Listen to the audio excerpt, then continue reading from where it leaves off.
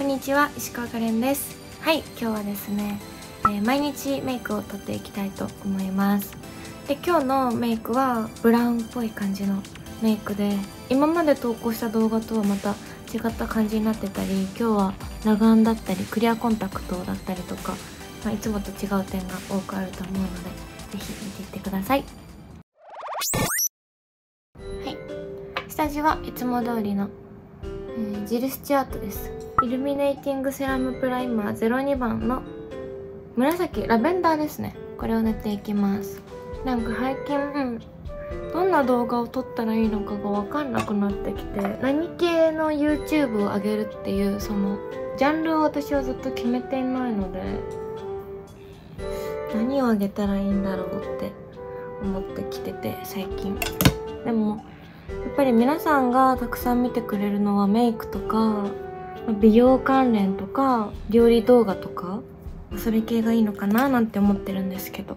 アンドビーのファンシーラーベージュとオレンジの入ってるやつです。これはファンデーションコンシーラーなのでこれを使ってしまえばファンデーションいらないみたいなところがあるんですけど私は隠したいところが結構多くて隠したいところを隠します。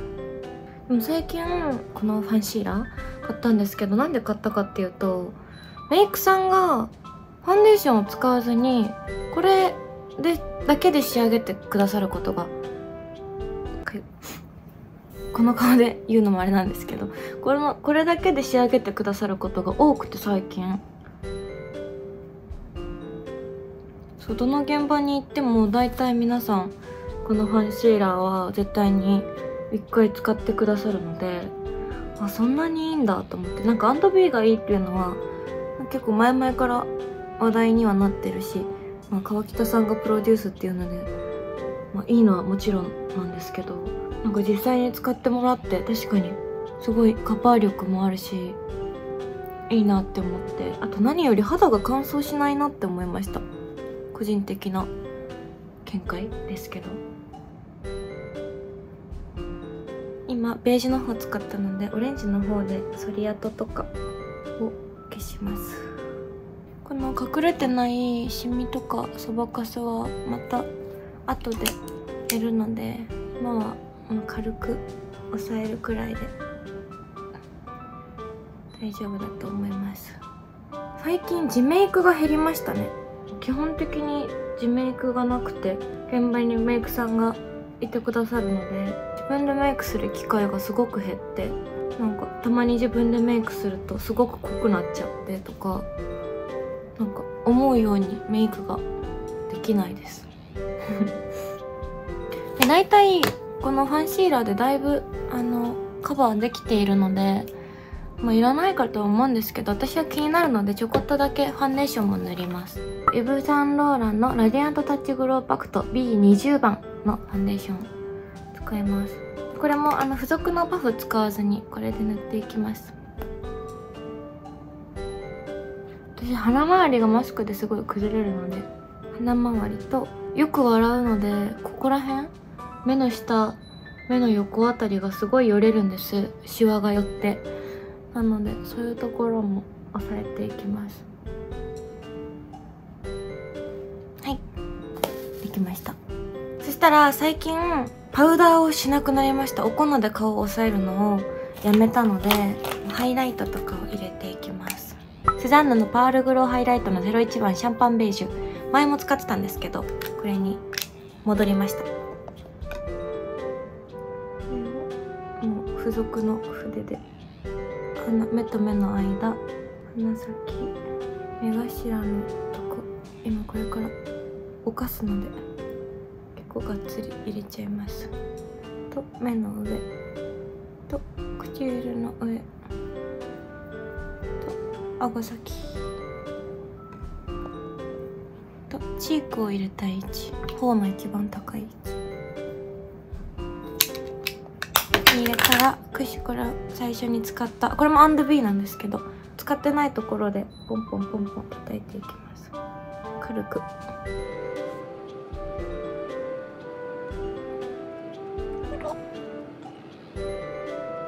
そうだあの麦ちゃん私の飼ってる飼い猫なんですけど麦ちゃんの避妊手術が先日あったんですよ。で避妊手術を受けて病院の先生に聞いていて避妊手術が終わった後は性格が変わりますっていう風に聞いてたんですけどもう帰ってきたその日は多分恐怖とか不安な感情から甘々だったんですけど4日経つんですけどすんごい甘々で噛まなくなりました。なんか私結構噛まれてたんですよ。と甘噛みなんですけど結構噛まれててあシェーディング。セザンヌのナチュラルマットシェーディング01番ウォームトーン。でノーズシャドウ入れます。麦ちゃんもねもうすぐ1歳になるんですよ。でもあのペットショップでお迎えした時くらい甘々です。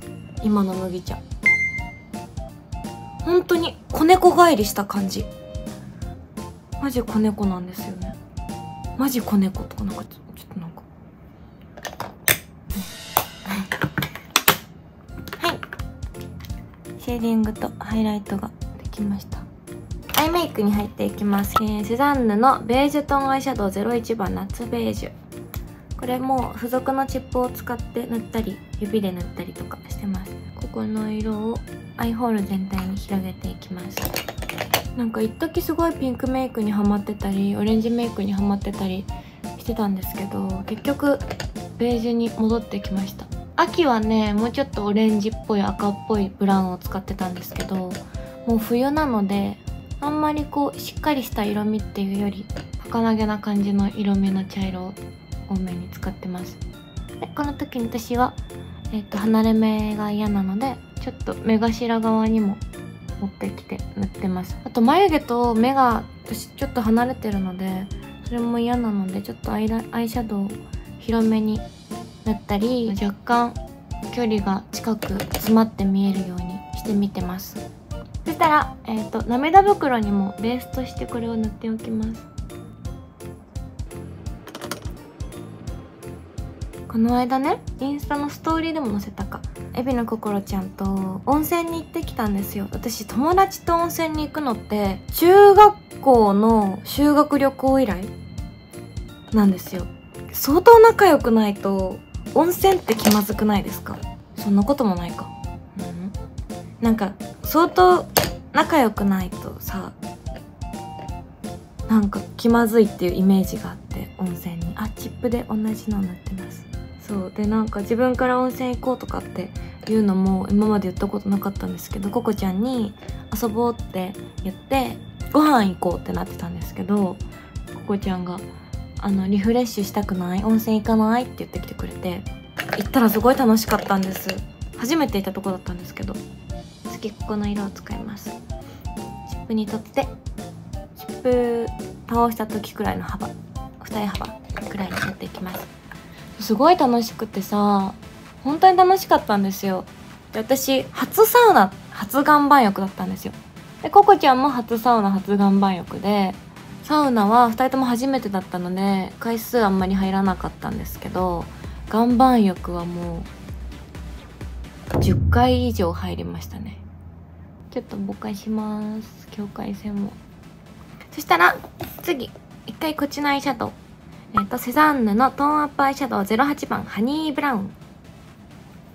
これの一番端っこのゴールドっぽいラメを取って涙袋になります。目頭から黒目の下くらいまで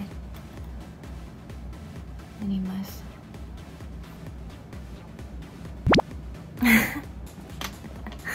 入ってるよ麦。こんな感じ。ぷっくり。そしたら反対側のチップで真ん中のピンクっぽいゴールドを取ってなんか涙袋の目尻側がぷっくりしているとあ麦ちゃんお尻映った。ぷっくり見えるらしいので最近は黒目の半分から目尻側はこのピンクっぽいラメをのせてます。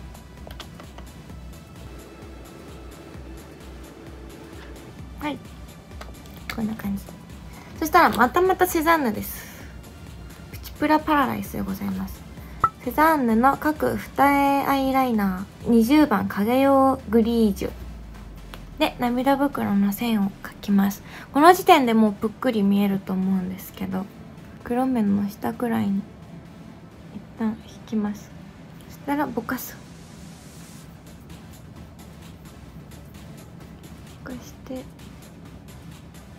は黒目の下から目尻側さっきピンクのせたところぐらいまでここら辺まで描いて私はちょうどこのほくろを通過するように描いてます。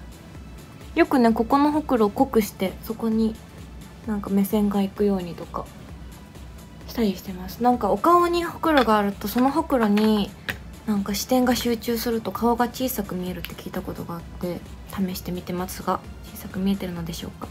次、えっと、セザンヌのジェルアイライナー20番のバーガンディこの赤のジェルライナーをちょっと出してこの目頭のこっから黒目の始まりくらいまでラインを入れます。なんかちょっと泣きそうで赤くなってる目みたいな。ここここ。すると私は離れ目がちょっとキュッと。なりやすく。なります。私あの石灰ラインがすごく似合わないので石灰ラインをしてしまうとすごい顔がねけばくなりやすいの。私の顔って。なので引かないで目を近づける方法がこれかなと思って。一回リップを保湿しますイブ・サンローランのルージュボリュープでキャンディグレーズ02番。これ色つかない。リップです。なので一回保湿します。これすごいんですよ。潤いがすごくて。ちょっと塗っただけでもうプルプルです。私ビューラーはシュウ上村のビューラーを使ってます。なんか自分の目の形に合うビューラーをまだ見つけれていなくて。とりあえずシュウ上村のビューラーを使ってます。そんで、うん、分かった。こ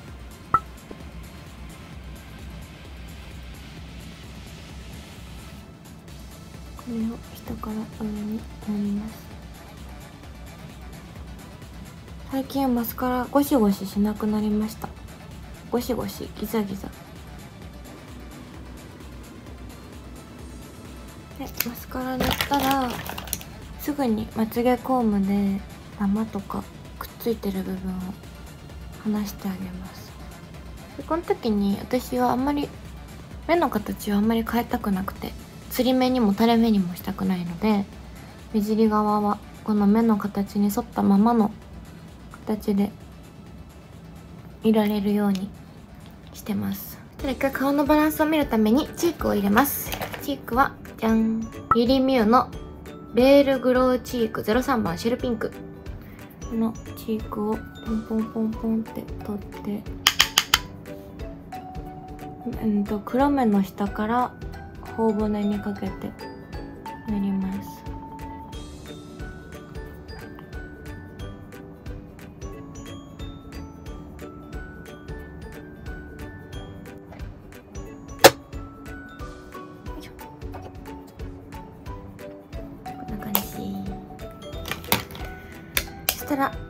大難関一番苦手な眉毛を描いていきます。ドットファブドットファブのブラシ。毛並みを整えて。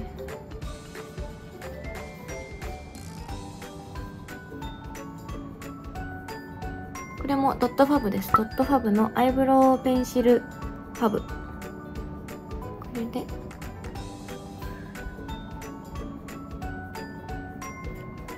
眉尻側を描きます。なんかね正面ある方向いた方がやりやすい。ごめんなさいなんか変な絵で。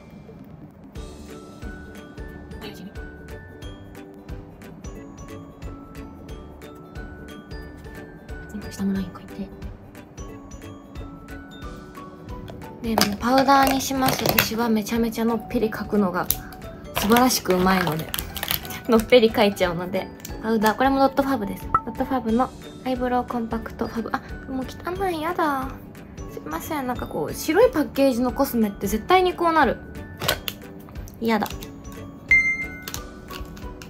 これのちっちゃいチップを使って真ん中の色で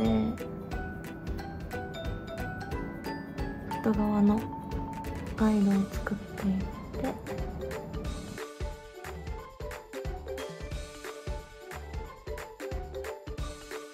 ビセのインスタントアイブロウカラー BR2 番。これ眉毛の存在感が消えるのでおすすめです。こんな色。これで塗っていきます。前髪を下ろせばいい感じになるはずなんです。おそらく。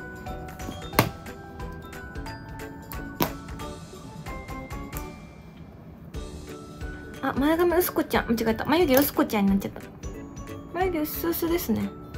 まあいっか下まつげ塗るときは余分な液を落としてあげると下まつげにつきにくくていいのではないかと思います。下まつげは縦塗りがおすすめです。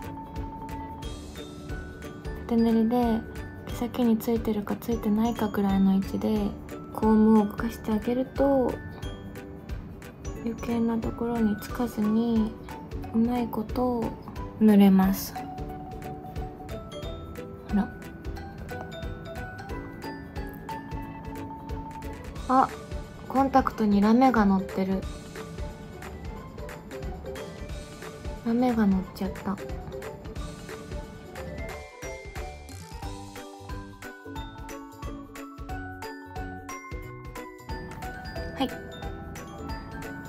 ダマになってる部分を取りましたのでこのコームについてるのもティッシュで取って下からこうすくってあげる。すくって毛先に。すくって毛先に。すくって毛先に。で毛並みを。毛並みを？整えます。すくって整える。はい。まつげでラストリップを塗ります。あ待って全然アイラインやってないじゃん。セザンヌの極細アイライナー EX の20番ブラウン。これでまつげの根元を埋めていきます。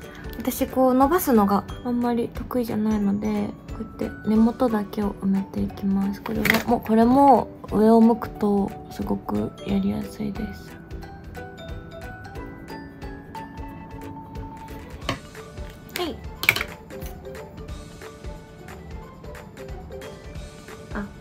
僕ら書き足す時はこのこれでここに元にある薄いほくろちゃんをちょんちょんって押してあげるとほくろができます。ほくろを濃くしてあげると甘い顔になります。でラストリップです。リップはイブ・サンローランのルージュ・ボリュプテ・シャインコレクターナンバー153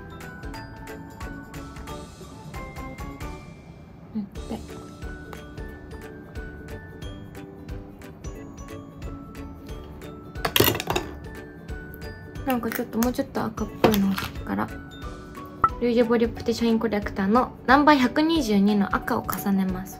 はい。ということで完成です。